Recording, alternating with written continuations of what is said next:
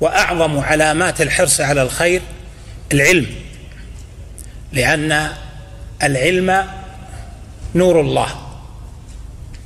أهل النور هم أهل العلم الذين ثبتوا عليه وعلموه وعلموه وحرصوا عليه وهو البركة الدائمة.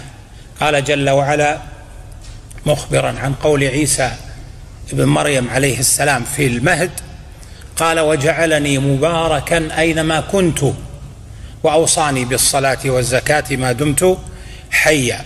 قال أهل العلم بالتفسير من السلف وجعلني مباركا يعني معلما للناس الخير أينما كنت.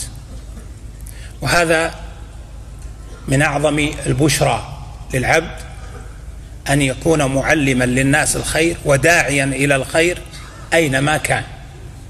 ومن نعمة الله على أمتنا أمة محمد بن عبد الله عليه الصلاة والسلام أن تعليم الخير والدعوة إلى الخير مبعضه مجزأة.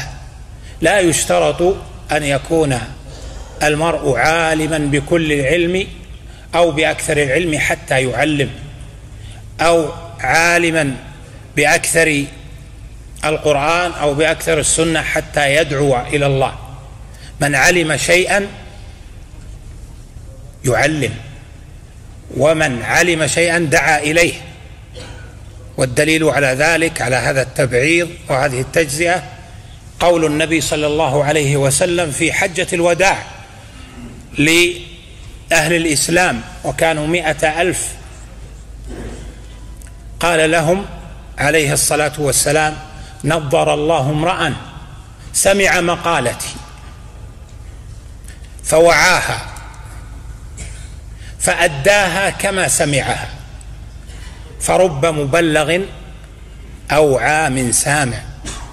فدلت دلت هذه الكلمات منه عليه الصلاة والسلام في حجة الوداع أن من علم حديثا مقالة له عليه الصلاة والسلام فوعاها فهمها فأداها كما وعاها كما حفظها حفظها وفهمها.